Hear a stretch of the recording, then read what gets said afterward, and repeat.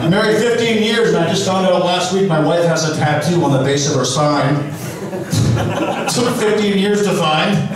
The hell, I guess I wasn't looking. You could have asked me, I'd have told you.